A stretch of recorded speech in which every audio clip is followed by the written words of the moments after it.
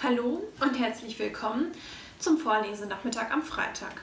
Ich bin Paula und ich habe heute ein Märchen ausgesucht, das kommt ursprünglich aus Amerika. Vielleicht kennt ihr es ja noch nicht. Es heißt Die kleine rote Henne und die Weizenkörner. Als die kleine rote Henne nach Futter scharte, fand sie eines Tages ein paar Weizenkörner. Ähm, wer will die Weizen sehen? fragte sie. Ich nicht, sagte die Ente. Ich nicht, sagte der Hund. Ja, ich auch nicht, sagte die Katze. Na gut, sagte die kleine rote Henne, dann werde ich es tun. Und sie säte die Weizenkörner aus. Nach geraumer Zeit stand der Weizen hoch und war reif. Wer will den Weizen schneiden? fragte die kleine rote Henne. Ich nicht, sagte die Ente. Ich nicht, sagte der Hund. Ich auch nicht, sagte die Katze. Na gut, sagte die kleine rote Henne, dann werde ich es tun. Und sie schnitt den Weizen.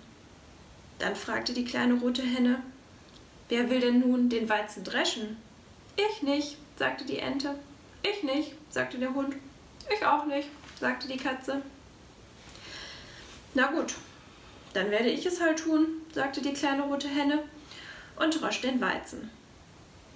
Als der Weizen gedroschen war, fragte sie, Wer will den Weizen zur Mühle bringen und zu Mehl mahlen? Ich nicht, sagte die Ente. Ich nicht, sagte der Hund. Ich auch nicht, sagte die Katze. Na gut, dann werde ich es tun, sagte die kleine rote Henne und ging zur Mühle. Als der Weizen zu Mehl vermahlen war, fragte sie, wer will mit mir Brot backen? Ich nicht, sagte die Ente. Ich nicht, sagte der Hund. Ich auch nicht, sagte die Katze. Na gut, dann werde ich es tun, sagte die kleine rote Henne und backte ein knuspriges, frisches Brot. Wer möchte denn Brot haben? fragte sie dann. Oh, ich, rief die Ente. Oh, ich auch, rief der Hund. Ich auch, rief die Katze. Oh nein, keiner von euch, sagte die kleine rote Henne.